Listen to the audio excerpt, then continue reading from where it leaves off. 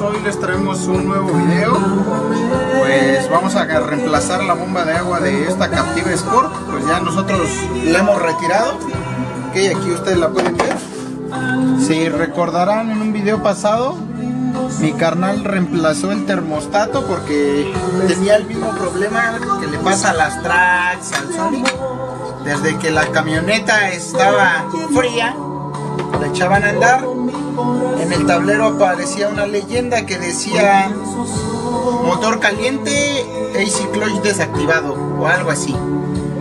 Entonces pues ya nos dimos a la tarea de diagnosticarla, se llegó al diagnóstico a reemplazar el, termostato porque pues el anticongelante que traía esta camioneta pues estaba muy, muy corriente, vamos a decirlo así, y estaba causando sarro adentro del sistema de enfriamiento.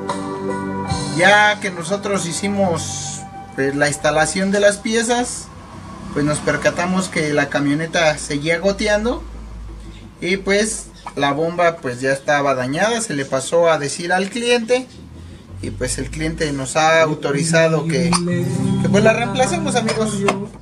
Pero pues un detalle muy, pues ahora sí que ya al retirar la bomba pues podemos ver pues la cantidad de, pues de mugre, podríamos llamar así, de residuo de carbón que tiene este vehículo. Incluso esta camioneta pues marca el código 10 me parece. Y recordando amigos, apenas pues de las personas que nos hacen el favor de vernos, pues nos marcaron y nos hicieron unas preguntas. Hay veces que tienen código 10, 11, 12, 13 y 14 pues muchas veces para empezar es esto el problema amigos que ponemos aceites incorrectos en este tipo de vehículos. Recordemos que el grado que nos está marcando es 5W30 de aceite sintético. Y pues muchas veces decimos, ay, ese aceite está un poco caro, mejor voy a comprar un multigrado, voy a comprar un monogrado. Recordemos que a este vehículo, amigos, no le va a funcionar. Muchos van a decir, no, si funciona, ya tiene desgaste. Para mí no va a funcionar, amigos, porque va a empezar a dañar las electroválvulas del tiempo. Ok, las podemos ver, ahí están las dos. Y pues por un cambio de aceite, pues más barato, amigos, pues realmente vamos a terminar pagando más y necesitamos reemplazar esas electroválvulas si llegaran a, a tapar. Ok amigos, una disculpa, nos marcaba un cliente, este, nos quedamos que se pueden dañar las electroválvulas. Esto se lo repito, es por un mal aceite amigos. Este tipo de vehículos, esos selenoides o electroválvulas son parecidas o similares a las de una transmisión automática.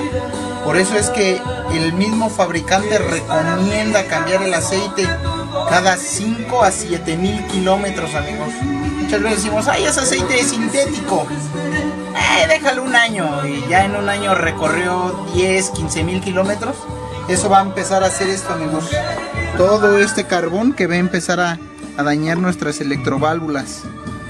Entonces recordemos que en este tipo de vehículos si es necesario, pues con más frecuencia cambiar el aceite, depende del kilometraje.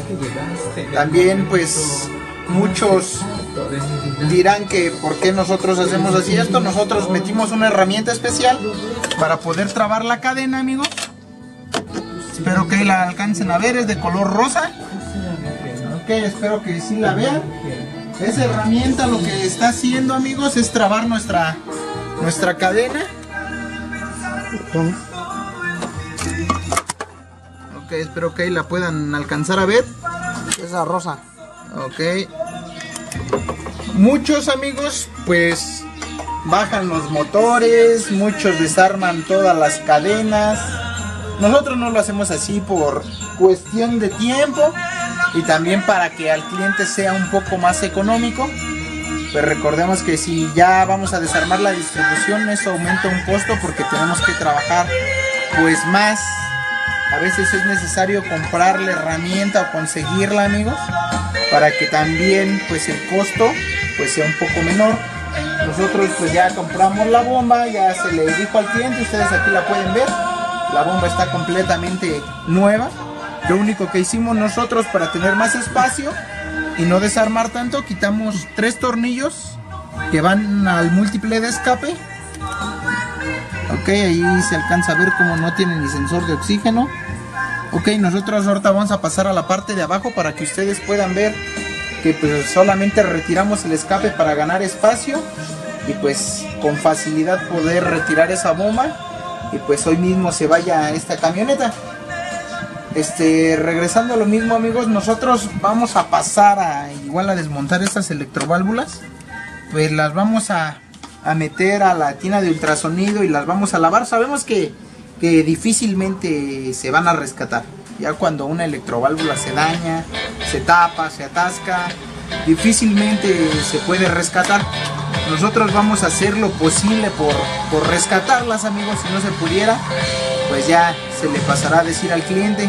También recordemos que el código 10, 11, 12, 13 y 14 se llegan a aprender porque una, bajo nivel de aceite amigos, bajo nivel de aceite, aceite incorrecto. También porque ya la cadena tenga juego, guías desgastadas.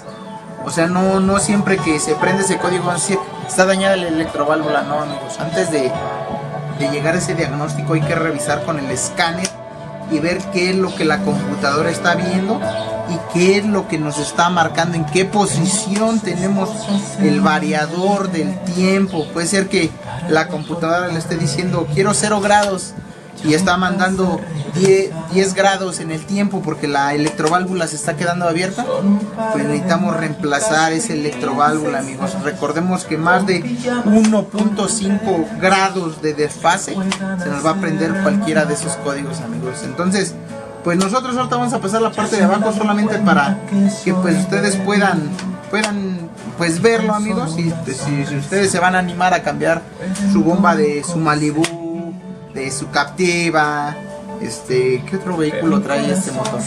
El Cavalier, el Sunfire, no importa que sea 2.2, 2.4, esta herramienta nos va a facilitar el trabajo, amigos. Vamos a pasar a la parte de abajo para que ustedes puedan ver que pues no tuvimos que desarmar en exceso. Muchos desarmarán la pierna, la suspensión, bajarán el motor. Nosotros se lo repetimos, esto es por ahorrarle al cliente un poco de dinero y pues también para que el trabajo pues sea más rápido. Pero bueno amigos, si ustedes ya tienen problemas de cadena, suena o algo, pues yo les recomendaría que desarmen completamente para que puedan revisar sus cadenas, las condiciones de las guías y pues de una vez le hagan su cambio de aceite. Si el aceite está muy dañado o trae un aceite incorrecto, pues recordemos que como siempre se los hemos dicho, lo barato sale caro. Vamos a pasar a la parte de abajo amigos y regresamos. Ok amigos, ya estamos aquí en la parte de abajo del vehículo. Se los vuelvo a repetir, nosotros nada más quitamos pues el escape, ahí se puede ver la parte de arriba. Esos tres tornillos, hay que retirar por arriba unos tornillos de 10 milímetros, dos tornillos de media que sujetan el filtro y pues ya sale esa tapa aflojamos los tres tornillos de 15 milímetros del escape también de la parte de acá donde se une al convertidor también lo quitamos de ahí.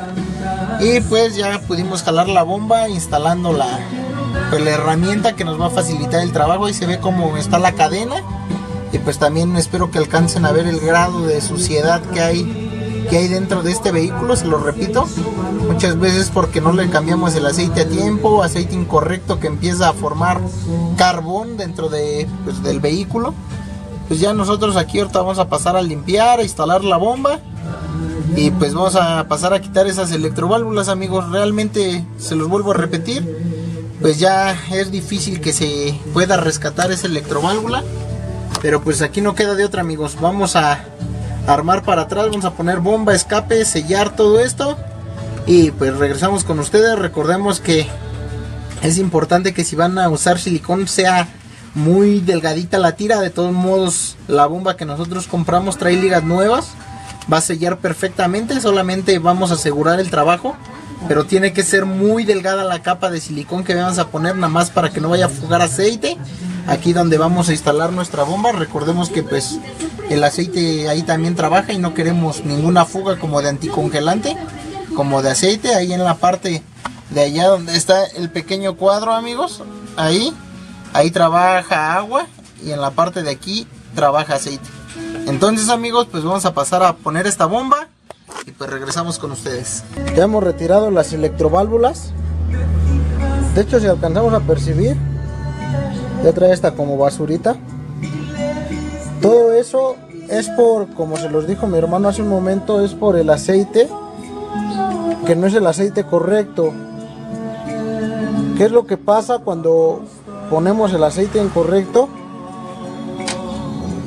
Ponemos el aceite y el carro obviamente pues va a trabajar, pero al no ser el aceite que lleva el vehículo, lo que empieza a hacer es que el aceite cuando nosotros llegamos y apagamos el vehículo, el carro no sigue, el carro se detiene el ventilador, lo que proporciona que el carro viene caliente, el carro empieza a calentarse más porque el carro viene caliente y el aceite se empieza a cocinar dentro de dentro del vehículo y es lo que lo que ocasiona estas capas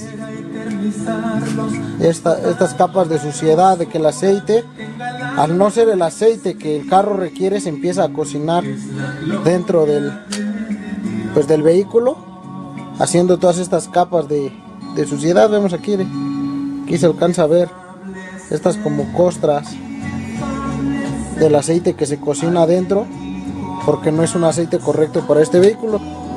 Nosotros vamos a pasar a, a limpiarlas meterlas en la tina a ver si si se lavan ya. Es difícil que estas electroválvulas se puedan rescatar de hecho ni siquiera es recomendable que se laven. De hecho ya lo ideal sería cambiarlas pero pues vamos a ver vamos a ver qué pasa. Pues ya estamos concluyendo este video, ya se ha reemplazado la bomba del agua. Recordemos que pues este vehículo solamente venía porque se le prendía el ventilador todo el tiempo estando frío y decía AC clutch desactivado, motor, caliente.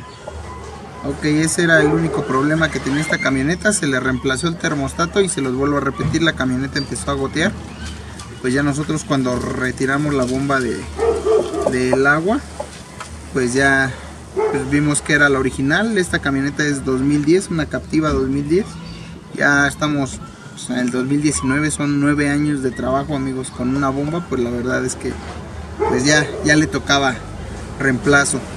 Pero bueno amigos, pues ahora sí que ahí está. Se le reemplazó, se lo vuelvo a repetir porque pues se, se dañó, pues yo pienso que por el tiempo. Pues ya esta camioneta igual se le ha echado pues anticongelante y pues algo muy importante amigos apenas nos hacían un comentario de que pues tenían un problema similar me parece que de un Chevrolet Sonic que si ustedes recuerdan en el video de la Captiva nosotros echábamos a andar la, la Trax perdón y arrancaban los motoventiladores estando fría la camioneta en este caso fue igual pero regresando al comentario del del Sonic amigos, él nos decía que ya había reemplazado el termostato y pues seguía encendiendo el ventilador. Y pues nosotros le respondimos que si ya había purgado el sistema. Recordemos que si tenemos un termostato hay que purgar el sistema y usar un buen anticongelante como se los he comentado.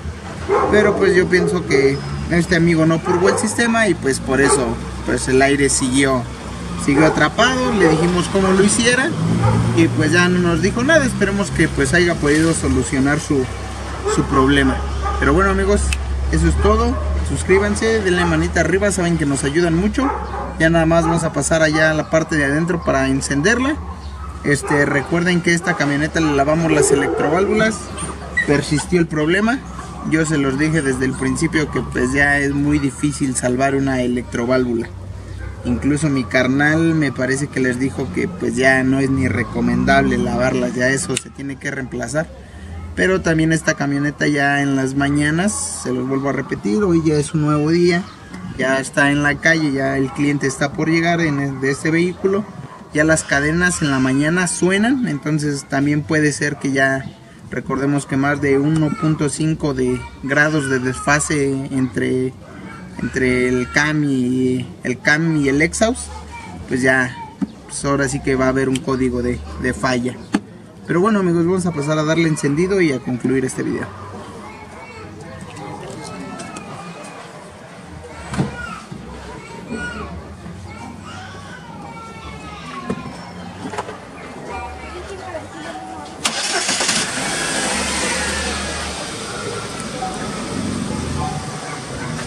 Bueno amigos, pues aquí está, ya este vehículo está, está trabajando.